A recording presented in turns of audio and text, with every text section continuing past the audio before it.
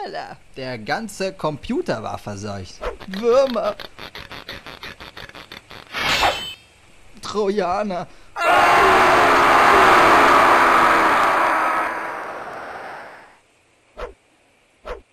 Und massenhaft Viren. Äh.